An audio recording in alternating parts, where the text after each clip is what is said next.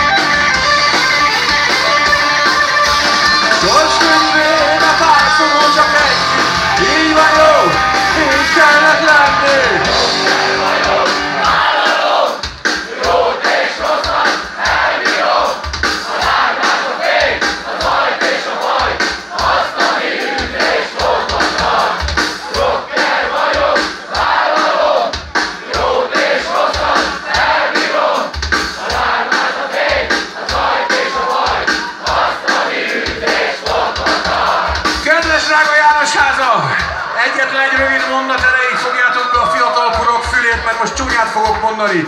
Hát valami irgalmatlanul piszok, kurva jók voltatok egész este, köszönöm szépen!